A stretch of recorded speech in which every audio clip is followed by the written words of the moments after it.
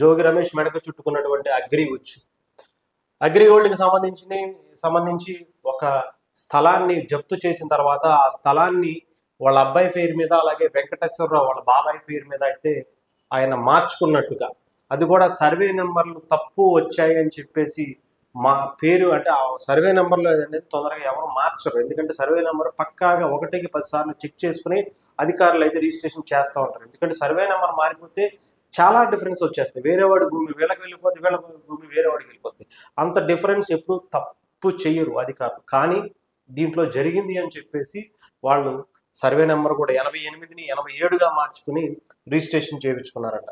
ముఖ్యంగా ఎప్పుడు మనం అంటే తప్పులు అనేవి ఏ శాఖకి సంబంధించి అయినా చిన్న చిన్న జరుగుతుంటాయి. పేర్లు తప్పులు కావచ్చు స్పెల్లింగ్స్ తప్పు తప్పులు కావచ్చు లేదంటే తండ్రి పేర్లు తప్పులు కావచ్చు ఏ కొన్ని కొన్ని లెటర్స్ ఏమన్నా తప్పు పడచ్చేమో కానీ సర్వే నెంబర్లు ఇప్పటి వరకు ఎప్పుడూ తప్పుగా లేదు కానీ దీనికి సంబంధించి పూర్తిగా సర్వే నెంబర్లు కూడా తప్పుగా వచ్చినట్టుగా దాన్ని మళ్ళీ అది కూడా అగ్రిగోల్డ్కి సంబంధించినటువంటి జప్తు చేసినటువంటి భూమిని వీళ్ళ పేరు మీద అది కూడా వాళ్ళ అబ్బాయి పేరు మీద అలాగే వాళ్ళ బాబాయ్ పేరు మీద వెంకటేశ్వర వాళ్ళ అబ్బాయి రాజీవ్ అండ్ వాళ్ళ బాబాయ్ వెంకటేశ్వరరావు పేరు మీద రిజిస్ట్రేషన్ చేయించుకున్నట్టుగా తెలుస్తుంది. దీని మీద పూర్తిగా జోగి రమేష్ మీద దీని పది కోట్ల విలువైనటువంటి అగ్రిగోల్డ్ ఆస్తులను కొట్టేసినట్టుగా తెలుస్తుంది.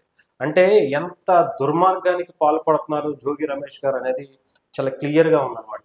ముఖ్యంగా దీని మీద ఏసీబీ విచారణకు డీజీపీ ఆదేశించారు. రెవెన్యూ రిజిస్ట్రేషన్ శాఖల ప్రమేయం కూడా ఉన్నట్టుగా అధికారులకు సంబంధించి ప్రమేయం కూడా ఉన్నట్టుగా కేసు నమోదుకు రంగం సిద్ధం చేసినట్టుగా తెలుస్తుంది. అంతేకాకుండా దీని మీద పూర్తి విచారణకు ఆదేశించారట ఏసీబీకి సంబంధించిన దీంట్లో అందరూ కూడా దీని మీద నిమగ్నం అయినట్టుగా కనిపిస్తుంది మొన్న కూడా డెబ్బై ఎనిమిది ఎకరాలకు సంబంధించి జోగి రమేష్ కబ్జా చేశారు అని చెప్పి ఒక బాధితులు వచ్చి కేసు పెట్టారు. అదే కాకుండా ఇది ఒక కొత్త కేసు అనుకోవచ్చు. ముఖ్యంగా ఇది దీంట్లో నిజంగా అంటే అధికారులను కూడా దీంట్లో ఇన్వాల్వ్ చేసి నేను గతంలో కూడా చెప్పాను.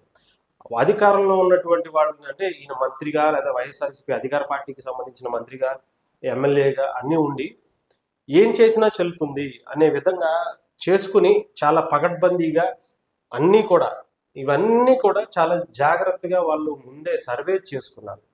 వైఎస్ఆర్సీపీకి సంబంధించి ఎవరికి వాళ్ళు ముందే సర్వేలు చేసుకుని నియోజకవర్గంలో ఏ భూములు ఎక్కడ ఉన్నాయి ఎవరి ఖాళీగా ఉన్నాయి అసలు ఎవరి పేరు మీద ఉన్నాయి దాన్ని మనం చేసేసుకుంటే మన పేరు మీద రాపిచ్చేసుకుంటే దానికి వచ్చే ఇబ్బందులు ఏంటి అవి అనేది కూడా వాళ్ళు ముందే చూసుకొని ఇలాంటి పగడ్బందీగా ప్లాన్ చేస్తున్నట్టుగా అయితే చాలా క్లారిటీగా అర్థమవుతుంది.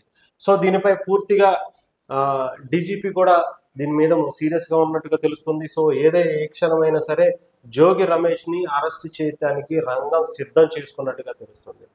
సర్వే నెంబర్ ఎనభై ఎనిమిదికి సంబంధించి ఎనభై ఏడుగా మార్చి ఆయన రిజిస్ట్రేషన్ చేయించుకున్నారు. అది కూడా అంబాపురం రీసర్వే నెంబర్ పేరుతో అల్లూరి కృష్ణమూర్తికి అక్కడ నుంచి అవ్వ వెంకట శేషనారాయణకు విక్రయించినట్లుగా కూడా ఉంది. అంటే ఈయన కొనడమే కాకుండా మళ్ళీ వేరే వాళ్ళకి కూడా అమ్మేశాడు మరి అది అమ్మాడా? లేదంటే వాళ్ళ మీద వాళ్ళ ఏమైనా బినామీలా అనేది కూడా తెలియాల్సి ఉంటుంది.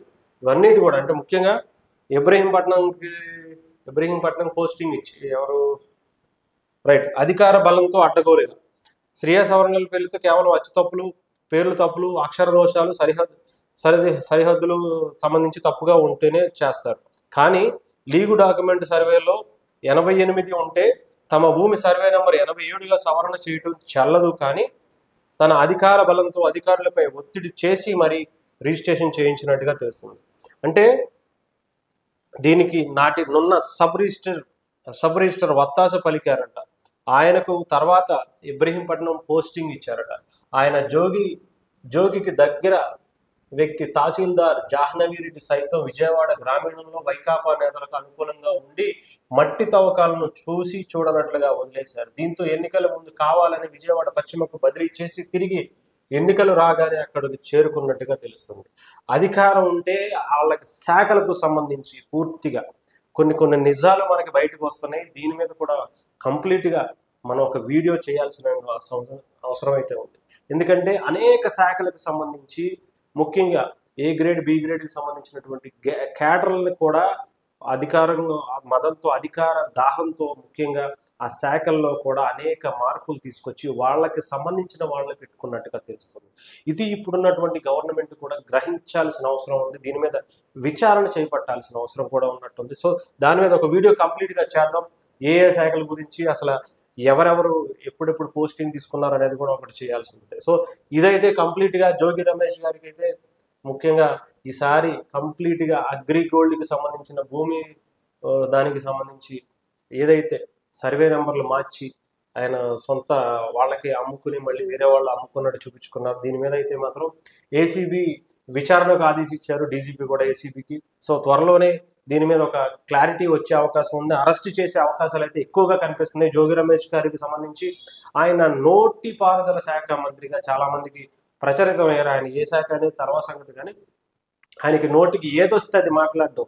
అది ఎవరు ఏంటి అసలు అది అనొచ్చా అనకూడదా? వాళ్ళ మనం ఏంటి మన స్థాయి ఏంటి వాళ్ళ స్థాయి ఏంటి అసలు మనం అది ఏంటి మనం మాట్లాడచ్చా మాట్లాడకూడదా అలా తప్ప కాదా? అసలు మనకు కూడా ఆ ఫ్యామిలీ ఉంది కదా మనం తిడితే ఎలా ఉంటుంది అని చెప్పి ఆలోచన తీరు లేకుండా ఇష్టం వచ్చినట్టుగా మాట్లాడేసినటువంటి వ్యక్తుల్లో జోగి రమేష్ గారు కూడా ఇప్పుడు ఆయన ఇప్పుడు చర్చనీయాంశంగా మారాడు. ఆయన కూడా త్వరలో లోపలికి వెళ్ళబోతున్నట్టుగా అయితే క్లారిటీ వస్తుంది